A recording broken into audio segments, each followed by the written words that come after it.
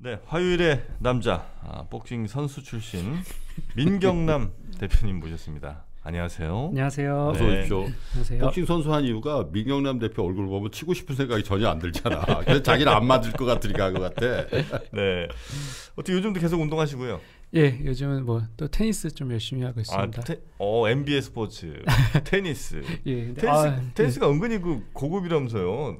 저 예. 돈 많은 사람들이 많이 한다면서요? 예, 예, 그것도 그렇고요. 되게 네. 텃세가 심합니다. 테니스가요? 예, 예.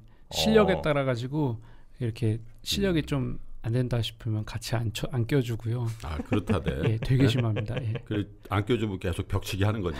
예.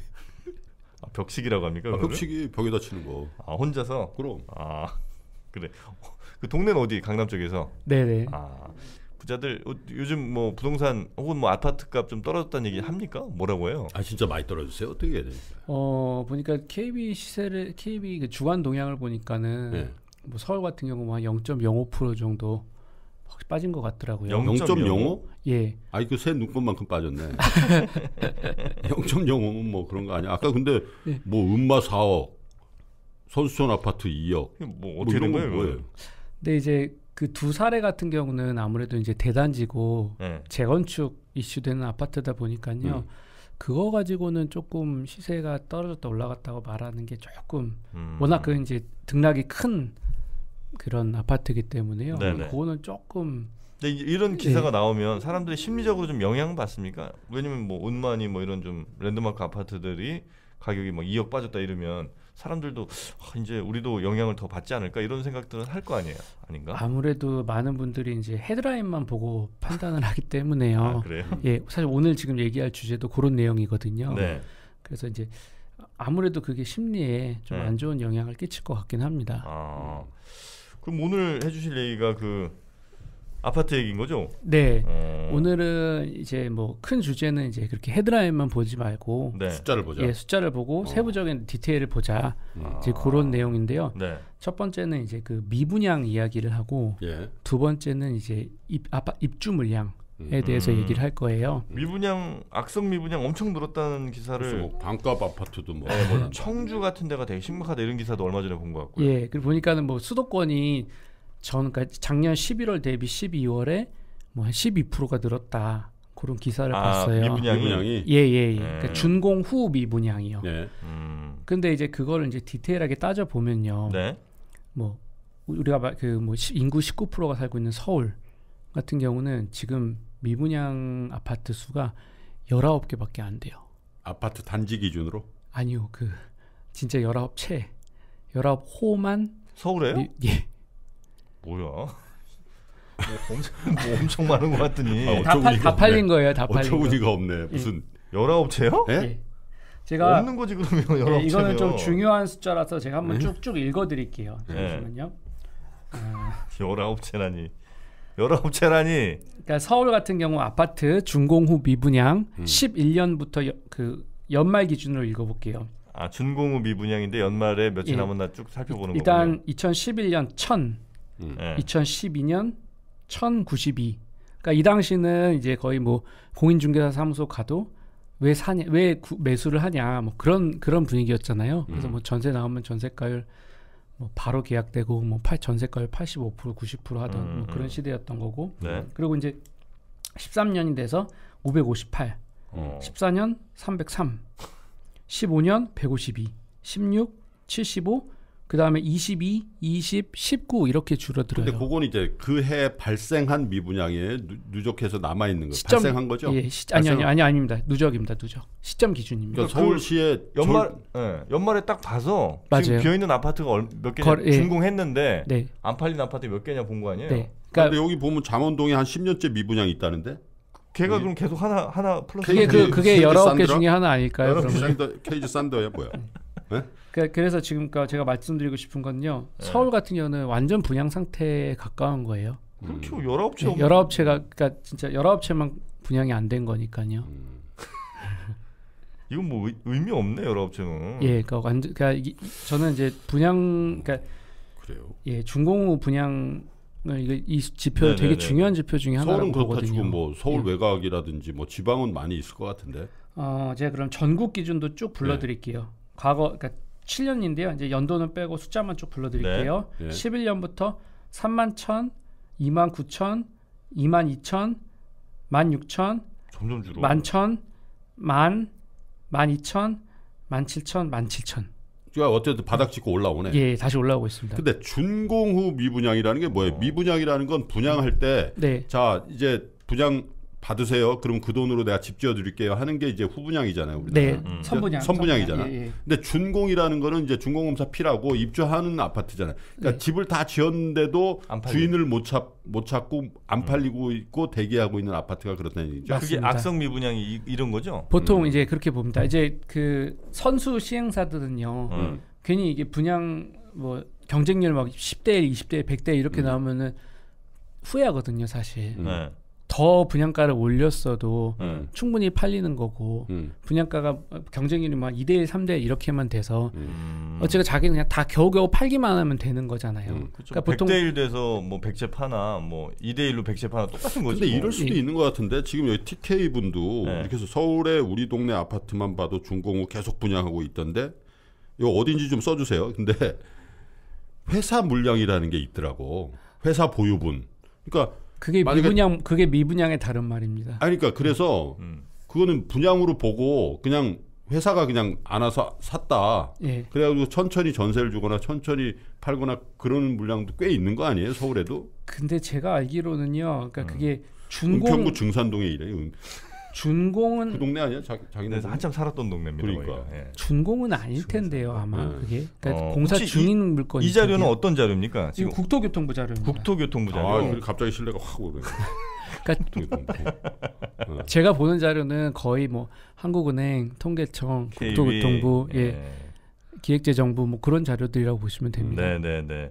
아, 생각보다 그러면 기사들이 맨날 뭐 악성 미분양이 막, 막 늘어나고 있다 이런 기사라는 거는 기자들이 이 통계 자료를 잘 못 보고 쓴 거예요? 어떻게 되는 거예요? 어 글쎄요. 그러니까 지금 그 제목 타이틀을 딴 게 이제 수도권 2,400에서 2,800 세대로 늘었다. 음. 음. 그래서 12% 늘었다. 아마 딱 그 숫자만 보고 네. 그리고 이게 전월 대비거든요. 어. 그러니까는 이제 시, 그때 11월에서 12월이 되면서 음. 뭔가 대단지가 이제 미분양이었던 단지가 이제 준공이 난 거죠. 우리나라 전체 서울보다 경기도가 인구가 더 많거든. 그죠? 예. 음. 그러니까 전 국민의 반 이상이 서울 수도권 지역에 거의 거주한다고 그렇죠, 봐야 그렇죠. 되는 예. 반 정도가. 그러니까 거기에 2,400에서 2,800으로 늘었다는 거는 사실은 우리 민 대표가 오늘 하려는 얘기가 그거 같아. 그 400채 늘었다는 게 뭐가? 이런 맞습니다. 거죠? 예, 예, 맞습니다. 퍼센테이지로 따지면 엄청나게 크게 는 것 같은데 네, 음. 맞습니다. 그런 얘기네. 그리고 이것도 그 전년 대비 뭐 몇 년 전 대비도 아니고 단순하게 전월 대비 가지고 비교를 하는 거는 음. 사실 음. 뭐 조금 문제가 있을 수가 음. 있습니다. 네, 네, 네. 그리고요. 네. 그게 이제 현재 미분양 얘기고요. 네. 이제 다음으로는 그 공급 음. 부분입니다. 국토교통부가 2017년부터 네. 그 3개월 단위로 이제 아파트 입주 예정 물량을 또 발표를 해요. 예. 근데 우리 민 대표님은 좀 복싱할 때처럼 자신 있게 좀 얘기하면 안 됩니까? 아니 아, 늘 예. 팩트를 갖고 오시면서도 네. 그래서 이게 자신 없는 목소리를 하니까 사람들이 잘 안 믿어요. 아, 어제 좀 긴장을 해서 그런지 잠을 좀 못 자서 그- 힘할 그래요? 힘이 없는 오늘, 것 오늘 같습니다. 방송 온다고 긴장하신 거예요? 예, 그런 것 같습니다. 아직도 그런 상태가 지속돼요? 큰일 났네. 두 달, 두 달 됐는데. 아니요, 사실은 저희 둘째가 네. 유치원 새로 이제 유치원 아. 가야 되는데 걔가 좀 좀 긴장을 했는지 아니, 잠을 함유청 어떻게 됐어? 유치원 다 저거, 그러니까. 그 개원 그거 연기한 거 가- 철회됐어요? 예, 뭐그 등원 등교 등원 아, 근데 유은혜 장관이, 네. 유은혜 장관이 교육부 장관이잖아. 네네. 유은혜 장관 별명이 뭔지 아세요? 뭐요? 유은혜 장군이래. 어, 밀어붙인다고? 밀어붙여가지고. 네. 네? 하여튼 그래도 다행히 거의 뭐 그러니까. 그 유치원들 문 닫은 경우는 별로 없었던 것 같긴 하더라고요. 음. 네. 자 그래서요? 좀 힘있게 하겠습니다. 네. 복싱 어퍼컷, 어퍼컷. 복싱도 근데 잘 못하는 것 같아 약간. 아, 아. 사실 뭐 소질은 별로 없습니다. 네네. 섀도우 복싱만 한 것 같아. 자 그래서요? 예. 어 다음으로 이제 네 공급 예정 물량에 음. 대해서 말씀을 드릴 건데요. 네. 이것도 재밌어요. 그 3, 올해 이제 3월에서 5월까지 입주 예정 물량 인데 아파트입니다. 네. 전국이 9만 400, 예. 서울이 3,600이래요. 서울이 3,600 채. 네, 네. 그거밖에 네. 없어? 네. 어 바로 바로 딱 느끼 캐치 아, 되시죠? 그렇지. 예. 전국은 너무 많다. 서, 서울에 사, 뭐20% 이상 사는데 서울은 왜 이렇게 작아요? 맞습니다. 그러니까 이게 그 대충 보통 보면 이제 우리나라에서 서울의 인구가 음. 전국 인구의 한 19%. 정도, 그러니까 20% 잡자고. 예, 20% 잡으면은 네. 대충 9만이면은 20%면 한 18,000은 공급이 음. 됐어야 되는데 음. 3,600만 공급이 된 거예요. 18,000보다 더 돼야지. 왜냐면 서울의 수요가 더 많으니까. 맞습니다. 네. 맞습니다. 예, 근데 이제 그런 이야기는 예. 잘 하지 않잖아요. 예. 예. 음. 예. 그리고 서울에 그 주소지만 주소지가 없는 사람 중에 서울에 거주하는 사람 상당히 많아요. 네. 예를 들어서 부모님 집은 부산이야. 예. 아들내미 딸내미 여기 여기 집 하나 사, 사줘가지고 그냥 있는 사람들도 있어요. 아 근데 주소지를 안 옮기고. 안 옮기고 그냥 여기 뭐 잠깐 왔다 갔다 하는 사람들도 많거든. 음. 여기 여기 출장 올 일이 많아가지고 근데 여기서 거주 많이 하는 사람도 굉장히 많아요. 어. 왜냐하면 강남이 왜 집값이 높으냐고 그때 누가 그랬잖아요. 강남으로 출퇴근 혹은 거기 트래픽이 많다는 거야. 강남에. 근데 서울도 그런 효과가 크게 보면 있는 거죠. 음. 예. 그죠? 네. 음. 그리고 이거를 이제 좀 세부 내역으로 좀 제가 이제 좀 봐봤어요. 네. 그 서울의 3,600개 중에 2,000이 공공입니다. 그럼 사실상 민간은 1,600이 좀 안 돼요. 정확하게는 이제 1,567밖에 그게 안 올해 돼요. 3월부터 5월까지. 예, 3개월치입니다. 올해 3, 4, 5월이요. 예, 예. 아. 그러면은 당연히 이제 공공 위주니까는 대형 평형은 더 없겠죠. 없겠죠. 음, 네. 그렇겠네요. 그래서 보면은 소형이 그 다시 다시 3,600이에요. 공공 민간 합쳐서 네. 3,600 중에 소형이 2,700, 예. 중형이 800, 예. 대형은 12개.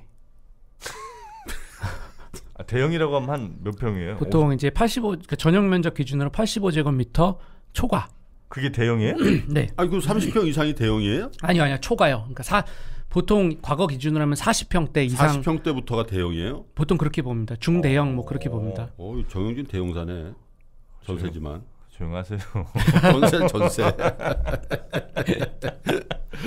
나는 한 60평 정도가 대형인 줄 알았지. 그리고 저도 한 5, 60평 이상은 충분 되는 줄 알았더니 40평대는 중형 아니야? 3, 40평이 중형이고 20평대가 소형 아니야? 보통 이제 20평에서 35평 정도까지 25에서 아, 그걸 35 중형이라고 정도까지가 이제 중형, 네. 그다음 40평대는 중대형, 음. 그다음 50평 넘어가면 대형. 이제 음. 그렇게 많이 어. 표현을 하는 것 같습니다. 아, 그래요. 네. 그래요. 야, 어쨌든 전용 대- 면적 기준이 아니에요. 뭐 시- 그냥 일반 제가 지금 평으로 말씀드린 거는 이제 그냥 임- 분양? 평형. 예, 예, 네, 맞습니다. 그래요. 네. 야, 그러면 12층 너무 적은 거 아니에요?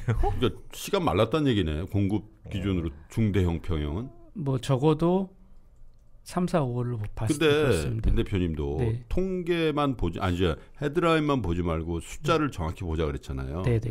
근데 왜 그 통계를 3월에서 5월만 보나요? 그 아. 직전 3개월 남은 헬리오 시티에 얼마나 많은 맞습니다. 아파트가 네. 음. 거의 9천 채 넘잖아요. 그래서 그것도 좀 준비를 해 왔습니다. 네. 아, 그 준비했어요? 네, 헬리오가 9,510 정도 될 겁니다. 그러니까. 네. 9,510이에요? 예. 거기는? 거기 실거주가 한 3만 명 한대요. 진짜 대박이다. 가구당 3명만 해도 3만 명이잖아.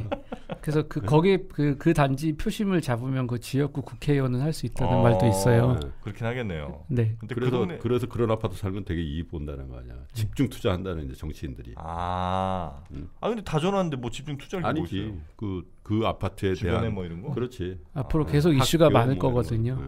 네. 아, 야 거기 그 무슨 뭐 분녀회장 이런 거 난리 나겠네요. 음. 거기가 무슨 무슨 시만큼 인구가 아는데 우리나라 조그만 어. 조그만 뭐 군인가 시인가 뭐 그렇대요. 그러니까 뭐 입주자 협의회 회장 이런 사람들은 웬만하면 뭐 구청장보다 훨씬 낫겠는데. 근데 헬리오시티 네. 그래서 지금 그 제 국토교통부에서 지금 매 2017년부터 네. 이렇게 3개월 단위로 입주 예정 물량을 쭉 뽑고 있어요. 네. 그래서 그거를 제가 또 조사를 해왔는데 2017년이 네. 3만 700 음. 그리고 2018년이 3만 8천 음. 이제 그 정도 돼요. 이게 이제 연 다 해서요? 1년에? 네, 네, 네. 전국으로 네, 예. 네. 그러니까는 18년이 17년 대비는 보다는 조금 많긴 많았습니다. 예. 네. 아무래도 헬리오 시티가 있었으니까요. 예. 아, 헬리오시티가 헬리오 시티 준순중국 빼면 줄었네. 맞습니다. 아. 원래 사실 기억하실지 모르겠지만 네. 15, 16, 17년에 2018년에 뭐 10년 주기설 얘기를 하면서 음. 그때 공급 폭탄이다. 예, 그렇지. 예, 그때 뭐 아, 되게 위험하다라는 얘기 그 당시에도 굉장히 많이, 많이 있었어요. 예. 근데 어, 막상 까보니까.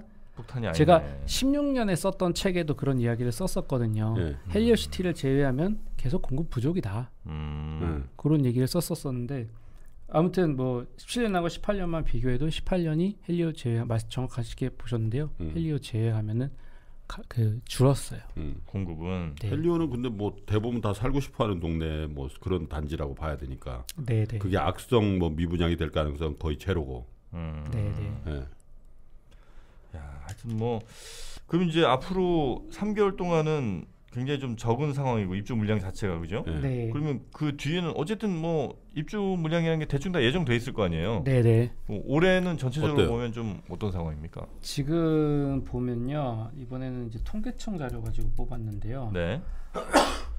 어, 야, 그래도 통계는 다들 공신력 있는 데서 뽑아 오시네. 아, 그럼요, 그럼요. 예. 네. 사실 회사에서 주- 그러니까 제가 또 말씀드리려고 말씀드리려고 했던 건데 이게 착공 인허가 이런 것만 보지 않고 음. 사실 그러니까 착공 인허가가 아니고 그 준공까지 나는 걸 봐야 되니까 어떻게 보면 준공을 봐야 되는데 그리고 그걸 멸실이랑 같이 봐서 순증을 따져야 되거든요. 멸실이라는 걸 이제 철거된 거. 네, 네. 음. 근데 그걸 한꺼번에 볼 수 있는 데이터가 없어요, 잘. 그래요. 예, 음. 그러다 보니까는 그나마 이제 통계청에서 그 순증 네. 자료가 좀좀 늦게 나오는 게 있는데 음. 거기 보면은 뭐 아니 순 지금 미래를 물어보셨으니까 네네. 순증에 보면은 그냥 조금 16년, 17년이 많이 줄기는 했어요. 예, 예. 예. 근데 이제 향후는 봐야 되는데 향후는 제가 멸실 물량을 모르기 때문에 예. 어디까지나 착공? 인허가 예, 예예 예, 그 예. 정도로밖에 어떻게 돼요? 볼 수가 없는데요. 요거는 제가 불러드릴게요. 지금 16년부터만 불러드릴게요. 예. 16년이 3만 4,500. 그럼 공급이죠, 공급. 예, 입주 이런 건 아니고 공급. 예, 공급. 서울이요? 음. 아 예. 전국이죠, 전국. 이거 서울입니다. 서울. 예. 서울 이거는 주택이에요. 예. 네, 아니다 이거 아파트입니다. 아파트. 아파트겠죠. 죄송합니다. 네. 예, 그 미리 좀 준비 좀 해봐요 이런 거는. 아, 예. 아니 잠이 안 오시면 공부하세요. 그냥 잠을 잠을 쳐, 저하지 마시고. 알겠습니다. 예. 예. 그래서 서울은 16년에 3만 4천, 예. 17년이 많았어요. 5만 천. 어. 그 다음에 18년이 4만 400. 아니 근데 음. 서울에 공급이 5만이라고요? 전국이겠네. 전국. 전국 이겠지. 서울입니다. 서울. 서울에? 뭐 이렇게 갑자기 늘어요? 서울이 지금 아파트 수가 한 167만 정도 되거든요. 예. 그러면은 5만이면은 지금 17만 160. 아니 우리 주변에 5만 채 아파트가 서울 시내 난 보지를 못한 것 같은데 뭐가 어떻게 5만 채가 늘어요? 근데요 이게 5만 채면요. 네. 그 전 현재 아파트 아, 스탁이 이제 한 30, 30초 정도 시간을 드리니까 잘 생각해 보세요. 예? 아파트 서울에 5만 채 느는 게 맞나? 그러니까 그게 3% 늘어나는 겁니다. 3%? 예. 3% TV가 여러분과 함께 하고 있습니다. 아니 어떻게 나는 그것도 이해가 안 되는데 그러면 천, 천 세대 단지가 네. 50개가 생기는 거잖아요. 네, 맞습니다. 그러니까 빌라 이런 거 다 포함해서 그렇다는 거예요? 아니면 아파트만입니다. 아파트만? 네. 그, 그렇게 많아요? 아니 경희궁 자이가 50개 생기는 건데 그렇게 많이 줘요? 경희궁자에는 5천 정도 될 거니까. 어쨌든 예, 예, 예. 대형 아파트 단지가 네. 음, 근데 이제 네. 17년 17년 말이 좀 유독 많았고요. 음. 보통은 이제 3만에서 3만 정도였습니다. 음. 네네네. 네. 그래서 이게 멸실을 따져 봐야 되겠지만요. 음. 네. 음, 제가 봤을 때는 조금 늘어난 건 사실인데 음. 그래도 계속 공급 부족은 계속 될 것 같습니다. 음. 그거는 이제 그 결과치인 미, 아까 먼저 말씀드렸던 그 네. 미분양 음. 아파트 지표로 확인. 근데 멸실이라는 것도요, 민 네, 대표님. 네, 어쨌든 아파트의 멸실이라는 거는 공급을 전제로 한 멸실이잖아요. 맞습니다. 예. 멸실한 다음에 근데 통상 멸실대 신규 공급의 비율 그러니까 아파트 단지가 천 세대짜리를 멸실시킨 거예요. 네, 철거했어요. 그러면 지금까지는 천 플러스 알파가 지어지죠. 한 3, 40% 늘어납니다. 그러면 그 멸실이라는 게 뭐 큰 의미가 있나? 예, 멸실해버리고 뭐 공원을 만든다든지 그러면 문제가 되지만은 네. 근데 이제 그게 시차, 시차만 단- 시차 시차가 네. 존재하니까요. 그러니까 늘어나긴 늘어나는데 그거 외에도 지금 재건축을 어렵게 하는 규제들이 있잖아요. 음. 그러니까 그런 거 그렇게 개량할 수 없는 음. 그런 것들도 다 이제 유출을 해봐야 될 것 같습니다. 음. 음.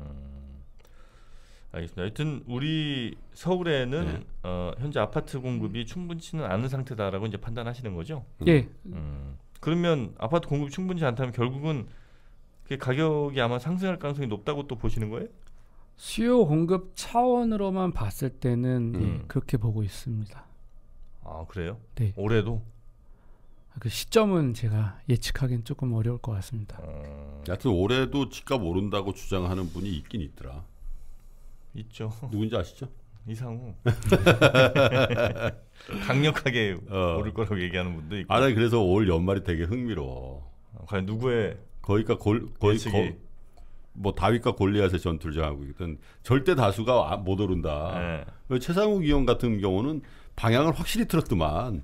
예? 예, 음, 이제부터 하락세 시작이다. 음. 이런 입장이더라고. 그런데 예. 우리 민경남 대표는 저는 예측을 아예 사실 안 하고요. 저는 그냥 대응하자 주의입니다. 음, 그제 재무 상태랑 분석을 해서 네네. 뭐 망하지 않을 정도 버틸 수 있을 정도 결국은 우상향을 할 거라고 저는 보거든요. 그게 음. 언제일지 모르고 어떤 기울기일지는 모르지만요. 음. 그래서 제 포트폴리오를 분산을 해서 계속 버텨 버티자 음. 주의입니다. 아, 일본처럼 가면 우상향 못 하는 거 아니에요? 근데 일본은 그냥 가까운 나라에 불과하거든요. 아 우리랑 비교할 수는 없다. 예, 일본은 GDP 3위, 우리나라는 GDP 한 11위. 근데 이제 참 그게 결국은 우상향이라는 거는 맞기도 하고 어떤 사람한테는 틀리기도 하더라고. 왜냐하면 일본이요 아직도 1990년도에 주가 지수의 3분의 2밖에 안 돼요. 잃어버린 30년. 어. 예? 아, 50년 지나면 우상향 할 수도 있겠죠. 아, 그럼 나 죽어버리는데? 그러니까. 근데 어, 이제 저 같은 되고. 경우는 투자를 아예 업으로 삼은 사람이고 예. 예. 제가 뭐 5년, 10년, 20년 하고 말 사람이 아니기 때문에요. 예. 예, 끝까지 뭐 속된 말로 뭐 존버라고 하던데요. 음, 그 버티면은 결국 음, 예, 살아남지 않을까 음. 알겠습니다. 생각이 30대라 있습니다. 이거죠. 아, 네. 그렇군요. 예. 부럽습니다. 우리 저 청취자분들도 열심히 버텨주셨습니다 이 시간. 음. 자 청취자분들께 감사의 말씀 전하고 빨리 떠나세요 이제. 네, 알겠습니다. 감사합니다. 예. 함께해 주셔서 고맙습니다 네, 대표님. 감사합니다. 네.